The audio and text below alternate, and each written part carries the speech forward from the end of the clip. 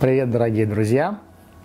А, сегодня у нас такое знаменательное событие, к которому мы долго шли. Я вообще заметил, что мы очень долго ко многим событиям знаменательным идем, но если приходим, то сразу уже, как говорится, приходим основательно.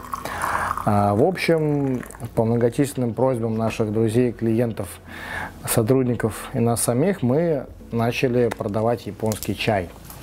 Вот. Я не назову себя потрясающим экспертом в японском чае, но, безусловно, так как, в принципе, мы занимаемся чаем давно, конечно, некие знания у меня о нем есть. Конечно же, мы пробовали разные пробники разных компаний, заводов и так далее. Вот. А, к сожалению, у меня пока не получилось до Японии доехать. Вот. Но, тем не менее, у нас получилось а, выйти значит, на контакт а, с несколькими заводами. Мы собрали какие-то образцы.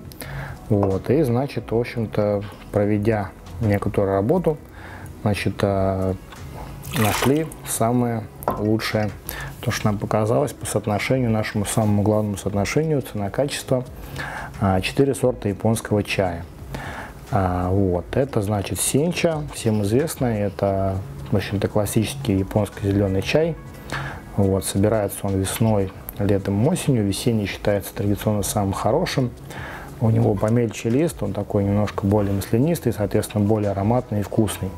И на внутреннем рынке в Японии обычно продается именно такой.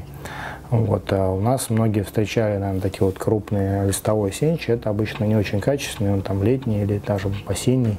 Вот, и он хуже. Вот у нас весенний. Хранится он два года. Соответственно, то есть хоть он на 2014 года, он до сих пор уже очень вкусный, очень ароматный, скоро будет, кстати, и свежий.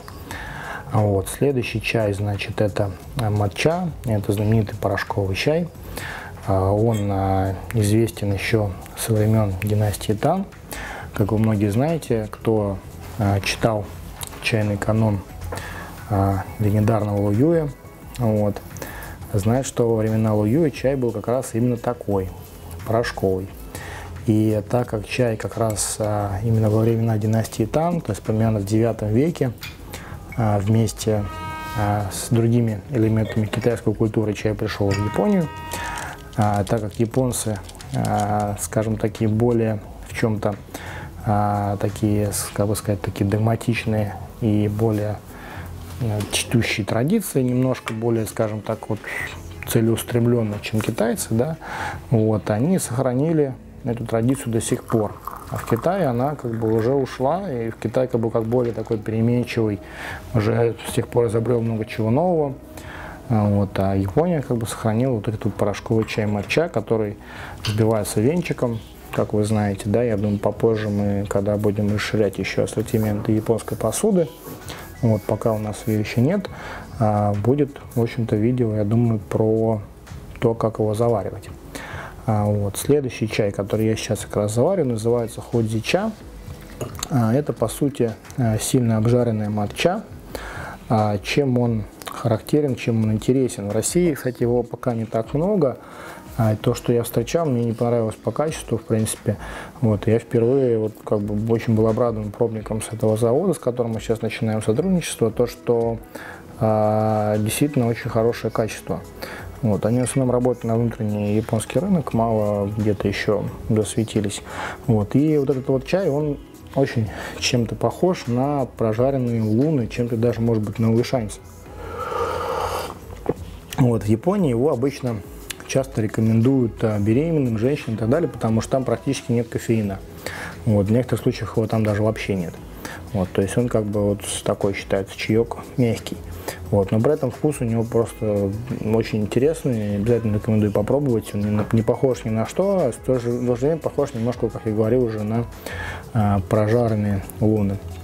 И четвертый сорт – это генмайча. Это знаменитый японский чай с рисом.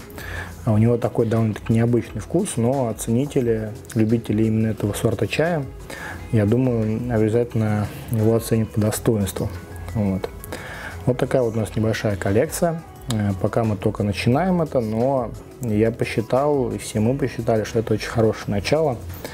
Э, вот, обязательно рекомендую попробовать, особенно вот опять-таки сенчу и, и хадзичу, потому что они, вот эти два сорта, они очень хорошо подходят, в принципе, под заваривание даже традиционно китайское. То есть их можно заваривать э, проливом, можно настаивать. Вот. А там более мелкая фракция, поэтому желательно использовать сито. То есть я вот тут как по своей привычке его не использовал. У меня вот тут полная чашечка мелких чаинок. Вот. Но это, в общем-то, тоже кому как нравится, можно заварить и так. Мне вот сейчас я заварил, как обычно, проливом, мне а, получилось довольно-таки вкусно.